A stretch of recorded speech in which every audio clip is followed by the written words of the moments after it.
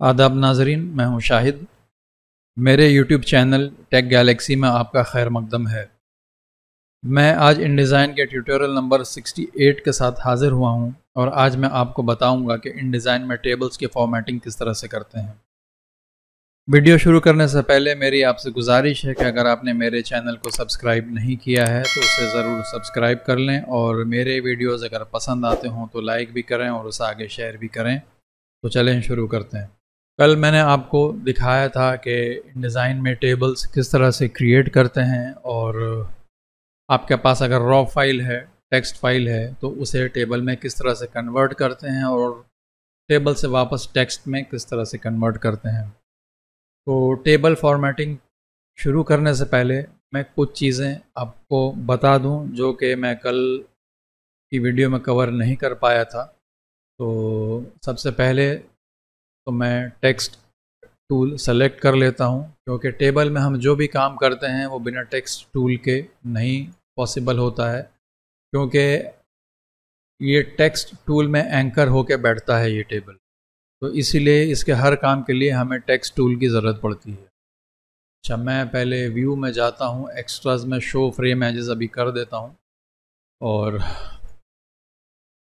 मैंने text tool पे select किया, मैंने इस सेल पे किया क्लिक तो अब मुझे इस दूसरी सेल में जाना है तो मेरे पास दो रास्ते हैं उस पर दूसरी सेल में जाने के लिए पहला रास्ता तो ये है कि मैं अपना राइट एरो प्रेस करता रहूँ तो आप देखेंगे कि एक एक कैरेक्टर को स्किप करते हुए ये आगे बढ़ता जा रहा है। और जब लास्ट सेल में पहुँच जाता है तो ये वापस फ़र्स्ट सेल में आ जाता है। इसी तरह से इसका दूसरा रास्ता ये है कि आप पहली सेल में क्लिक करें और यहाँ पे टैब मारें। तो आप देखेंगे कि ये किस तरह से आगे बढ़ता जाएगा टैब मारने से। और वापस अगर हमें पीछे जाना है, पीछे वाली सेल में तो हम प्रेस करेंगे शिफ्ट और टैब। इस तरह से हम बैकवर्ड जा सकते हैं। आप ये चाह रहे हैं कि ये नाम जो है मोहम्मद जाकिर, इसे आप यहाँ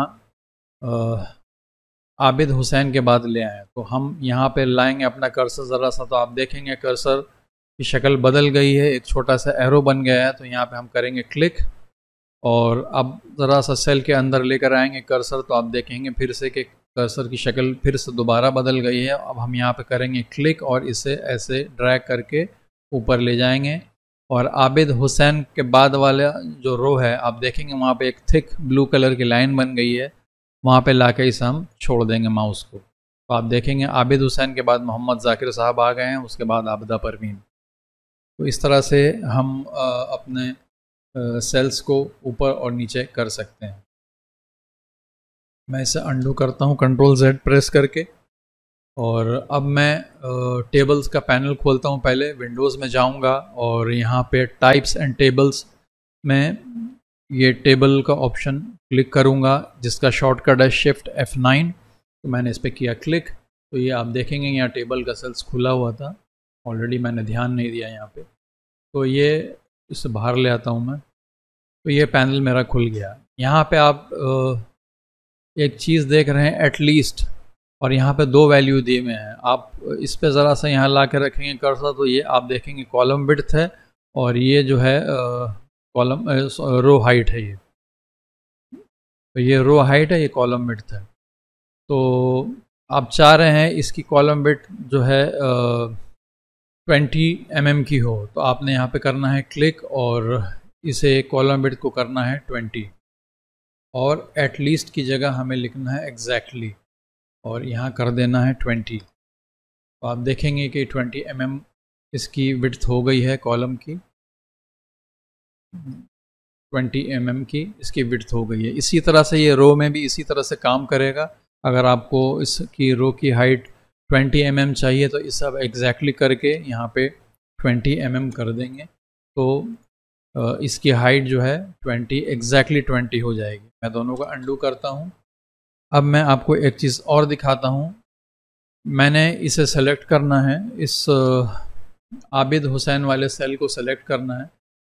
इसमें जो टेक्स्ट लिखा है, उसे सेलेक्ट करना है। तो मैंने यहाँ पे क्लिक किया और अब मैं अपने कीबोर्ड पे प्रेस करूँगा एस्केप की। तो आप देखेंगे कि ये वाली सेल सेलेक्ट हो गई है। अब मैं दोबारा एस्केप की प्रेस करूँगा तो आप देखेंगे कि उस सेल के अंदर जो टेक्स्ट है, वो सेलेक्ट हो गया है। तो इस तरह से आप अपने सेल्स में एडिट कर सकते हैं। कोई भी डेटा या उस सेल को ही अगर एडिट करना है तो आप इस तरह से उसे एडिट कर सकते हैं। एक चीज़ और है, मैं इस पर करता हूँ क्लिक और यहाँ पे आप देख रहे हैं सेल इनसेट तो सेल इनसेट अभी 1.4 पॉइंट mm है। मैं इसका सेल इनसेट कर देता हूँ 3 mm और मैं टैब मारूँगा तो आप देखेंगे यहाँ इसके लेफ़्ट सॉरी राइट में ऊपर और नीचे 3 mm का गैप आ जाएगा। ये ठीक उसी तरह से काम करता है, जिस तरह से टेक्स्ट इंसर्ट काम करता है। तो ये वही चीज़ है सेल इंसर्ट तो मैं इसे अभी अंडू करता हूँ। अब आप चाह रहे हैं कि आपके पास ये जो टेबल है, बना हुआ है, अब आप इसे एनलाज करना चाह रहे हैं। तो एनलाज करने के लिए आपको इन सबको इंडिविजुअली बड़ा करना पड़ेगा और इसका साइज़ को बड़ा करना पड़ेगा।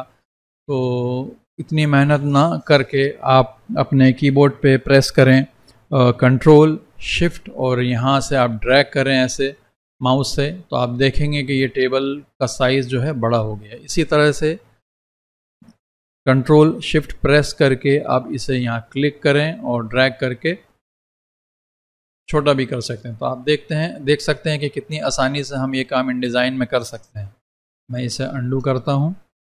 अच्छा अब आपके पास ये टेबल है और आप चाह रहे हैं कि ये ये जो गैर ज़रूरी स्पेस है, इसे ख़त्म करना है। तो आपको इस तरह से यहाँ पे ला के ड्रैग करके लेकर आना होगा और यहाँ से भी इसी तरह से आपको यहाँ पे ड्रैग करके लेकर आना होगा। तो इसमें बहुत वक्त लगता है तो मैं इसे कंट्रोल जेड करता हूँ और मैंने इस टेबल पे किया क्लिक और कंट्रोल प्रेस किया, अपने कीबोर्ड पे ऑल्ट प्रेस किया और सी प्रेस किया। तो आप देखेंगे एक ही बार में एक कमांड से ये दोनों टेक्स्ट फ्रेम जो है टेबल के हिसाब से हो गया। अच्छा एक चीज़ और मैं आपको दिखाना चाहता हूँ।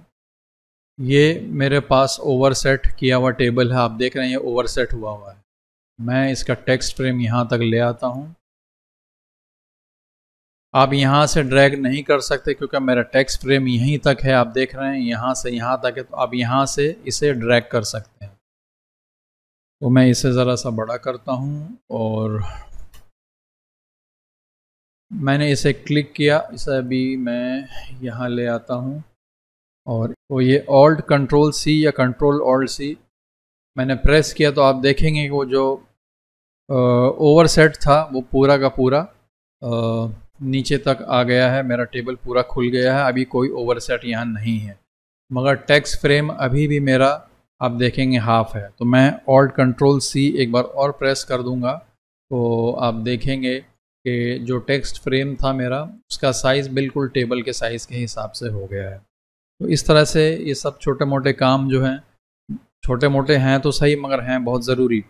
इनसे बहुत वक्त बचता है, बहुत एफिशिएंसी आती है, अगर आप इस काम को सीख लें तो। तो इससे आपका काम बहुत आसान हो जाएगा। तो अब हम चलते हैं टेक्स्ट की टेबल की स्टाइलिंग की तरफ़। तो मैं इसे पहले छोटा कर देता हूँ और इसे लेकर आता हूँ मैं यहाँ पे और इस उर्दू के टेबल को पहले मैं स्टाइल करता हूँ।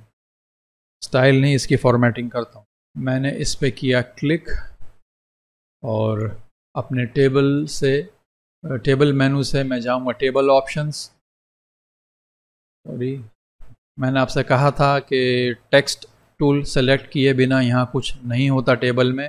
तो मैंने इसे सिलेक्शन टूल से सेलेक्ट करके यहाँ पे आया था मैं। तो आप देखेंगे सब ग्रेड आउट है। मैं टेक्स्ट टूल लूँगा, यहाँ पे क्लिक करूँगा। और फिर जाऊँगा टेबल में, और अब जाएँगे टेबल ऑप्शन में तो आप देखेंगे कि सब एनेबल हो गया टेबल सेटअप में जाने का तरीका है control alt shift N B ये मेरा शॉर्टकट है, और ये मेरा कमांड है। अगर आप विंडो मेनू से जाना चाहते हैं तो टेबल में जाएँ टेबल ऑप्शंस में जाएँ, और टेबल सेटअप में जाएँ। ये जो चार आइटम आप देख रहे हैं, ये सब इसके अंदर मौजूद है। इसलिए आप इनमें से कोई सा भी सेलेक्ट करेंगे विंडो एक ही खुलेगी। खाली टैब आपको वो वाला सेलेक्टेड मिलेगा। तो टेबल की फॉर्मेटिंग दिखाने से पहले मैं विंडो में जाऊँगा और सॉरी व्यू में जाऊँगा एक्स्ट्रास में जाऊँगा और हाइट फ्रेम एडजस्ट कर दूँगा ताकि मैं, जो भी मैं एडिट करूँ टेबल में, वो यहाँ आप देख पाएँ।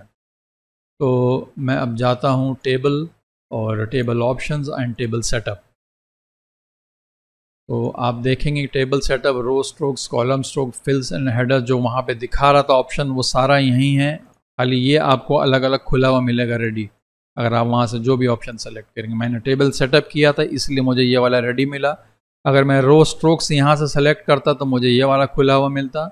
इसीलिए वहाँ पे इतने सारे ऑप्शन दिए हुए हैं। खुलेगी सारी एक यही विंडो तो सबसे पहले मैं जाता हूँ टेबल सेटअप में और इसमें जाके मैं टेबल का बॉर्डर पहले ऑफ़ करता हूँ।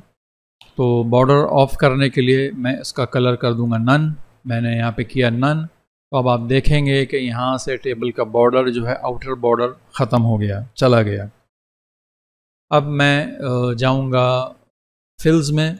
फिल्स पे मैंने क्लिक किया और यहाँ पे ऑल्टरनेटिंग पैटर्न नामी एक ड्रॉप डाउन है मैं उस पर करूँगा क्लिक और यहाँ से सेलेक्ट करूँगा एवरी अदर रो तो आप देखेंगे कि एवरी ऑल्टरनेट रो जो है एक दूसरे कलर में आ गया है और मैं उसका कलर यहाँ से सेलेक्ट कर सकता हूँ और मैंने यहाँ पे किया क्लिक और यहाँ से मैंने सेलेक्ट करना है लाइट ग्रीन और लाइट ग्रीन का मैं 100 परसेंट रखता हूँ और दूसरे वाले में मैं सेलेक्ट करता हूँ डार्क ग्रीन अब आप देखेंगे कि एक शक्ल निकल के आने लग गई है टेबल की। अगर आप स्किप करना चाहते हैं शुरू का कुछ रोज़ तो आपने यहाँ पे ऐसे किया तो आप देखेंगे पहला रोज़ स्किप हो गया है। तो मैं अभी इसे ऐसे ही रहने देता हूँ। अच्छा मैं ये चाह रहा हूँ कि ये जो ब्लैक रो स्ट्रोक्स आ रहे हैं, मैं इसे ऑफ़ कर दूँ। तो मैं जाऊँगा रो स्ट्रोक्स में और यहाँ से ऑल्टरनेटिव पैटर्न में मैं सेलेक्ट करूँगा एवरी अदर रो। तो यहाँ पे आप देखेंगे कि ये ऑप्शन आया है मेरे पास, मैं इसका कलर कर दूँगा नन और यहाँ से भी इसका कलर कर दूँगा नन। तो अब आप देखेंगे कि रो स्ट्रोक्स जितने भी हैं, सारे यहाँ से जा चुके हैं। अब मैं जाता हूँ कॉलम स्ट्रोक्स में और कॉलम स्ट्रोक्स में मैं चाह रहा हूँ कि कोई एक बॉर्डर दे दूँ यहाँ पे तो मैं यहाँ आता हूँ नन में और एवरी अदर कॉलम सेलेक्ट करता हूँ और यहाँ पे कलर में मैं देता हूँ डार्क ग्रीन और इधर डार्क ग्रीन नहीं, बल्कि मैं देता हूँ ये वाला ब्लू और इधर भी देता हूँ, ये वाला ब्लू और इसको देता हूँ मैं point five point two five वहाँ दिया है तो पॉइंट टू फाइव इसमें भी देता हूँ। पॉइंट फाइव ही अच्छा लगेगा यहाँ तो बहुत थिन हो गया है वो। और इसका टिंट आप चाहें तो कम कर सकते हैं। मैं करके देखता हूँ सिक्सटी कैसा लग रहा है। सिक्सटी अच्छा नहीं लग रहा है तो मैं इसे एट्टी करता हूँ। हाँ एटी ठीक है तो ये दोनों एटी कर दिया मैंने। अब आप देख सकते हैं कि ये किस तरह का लग रहा है। मैं ऐसे करता हूँ ओके। तो अब आप देखें कि एक टेबल जो कुछ देर पहले बिल्कुल रॉ लग रहा था, अजीब सा लग रहा था ब्लैक एंड वाइट में था, चारों तरफ़ स्ट्रोक नज़र आ रहे थे, अब किस तरह का हो गया है। सिर्फ़ फ्यू क्लिक्स मैंने कुछ क्लिक्स ही किए हैं इसमें। और उसकी शक्ल बिल्कुल बदल गई। है अच्छा ये सेलेक्ट करता हूँ मैं यहाँ राइट क्लिक करूँगा और चूँकि मैंने इसको हेडर रो कर दिया था कल इस वजह से यहाँ पे कलर नहीं आया। मैं इसे कन्वर्ट टू बॉडी रोज करता हूँ और अब इसे दोबारा स्टाइल नहीं करना है मुझे तो मैं इसको कन्वर्ट टू हेडर रोज़ ही करूँगा मैं और यहाँ से आके इसका ये आ, मुझे ऑफ़ कर देना है। तो कहाँ गया। ये स्ट्रोक मुझे ऑफ़ कर देना है तो मैं इसको ऑफ़ करूँगा इसको ऑफ़ करूँगा इसको ऑफ़ करूँगा। तो आप देखेंगे कि ये स्ट्रोक मेरा ब्लैक है यहाँ एक नीचे स्ट्रोक था उसको मैं कर दूँगा नन नन कर दिया मैंने और यहाँ फिल दे देता हूँ कोई भी मैं। ओ, ये वाला फिल रेड दे देता हूँ अभी। तो अभी टेबल आपका इस तरह का लग रहा है और इसे आपने किया सेलेक्ट और यहाँ से आपने सेलेक्ट कर लेना है बोल्ड और क्योंकि ये अभी सेल सेलेक्टेड हैं यहाँ सारे, इसलिए टेक्स्ट चेंज करने का ऑप्शन यहाँ नहीं है। मैं यहाँ पे स्केप मारूँगा तो आप देखेंगे कि ये ऑप्शन मेरे पास आ गया। मैं इसे कर दूँगा पेपर इसे भी कर दूँगा मैं पेपर जनरली ये सब जो है स्टाइल्स में इनकॉर्पोरेट हो जाता है। स्टाइल्स में बाद वाली क्लास में कवर करूँगा। इसलिए आज मैं आपको सिर्फ़ फॉर्मेटिंग इसी तरह से करके दिखा दे रहा हूँ। अब आप देखें कि आपका टेबल हालाँकि यहाँ रेड कलर नहीं चाहिए, कुछ दूसरा कलर होता तो ज़्यादा अच्छा लगता। मेरे पास रेडी किया हुआ नहीं था कोई कलर तो मैंने अभी रेड दे दिया है आपको समझाने के लिए। तो अब आप अगर पुराने वाले टेबल से कंपेयर करेंगे तो मैं इसे कॉपी करता हूँ पेस्ट करता हूँ, देखते हैं किस तरह से कंट्रोल ऑल्ट और यहाँ पे इसे मैं क्लियर ओवरराइड्स कर देता हूँ और इसे मैंने चूँकि यहाँ से दिया रखा था इसे नन कर देता हूँ और escape black oh, escape black black.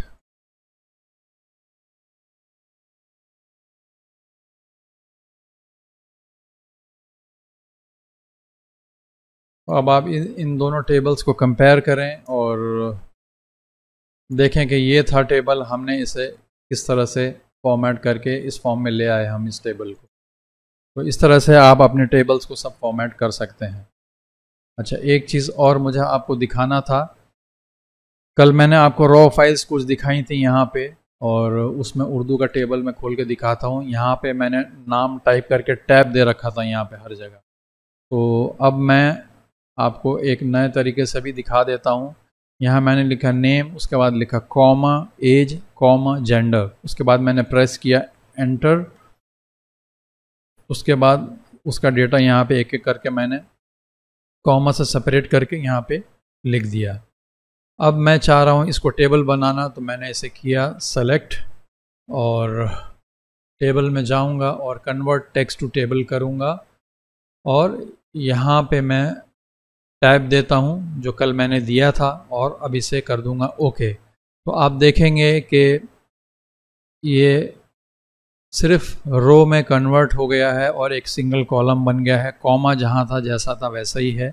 तो ये प्रॉपर टेबल नहीं बना है। मैं इसे कंट्रोल जेड करता हूँ और फिर मैं दोबारा जाता हूँ टेबल में और कन्वर्ट टेक्स्ट टू टेबल करता हूँ। अब टैब की जगह मैं यूज़ करूँगा कॉमा और इसे करूँगा ओके अब आप देखेंगे कि नेम एज एंड जेंडर नामी तीन कॉलम बन गए हैं और उसके अंदर डेटा जो है सब प्रॉपरली आ गया है। तो जनाब, ये था आपका टेबल फॉर्मेटिंग के बारे में। और आज के वीडियो में बस इतना ही है। आपसे मिलता हूँ अगले वीडियो में टेबल की किसी दूसरी टॉपिक के साथ।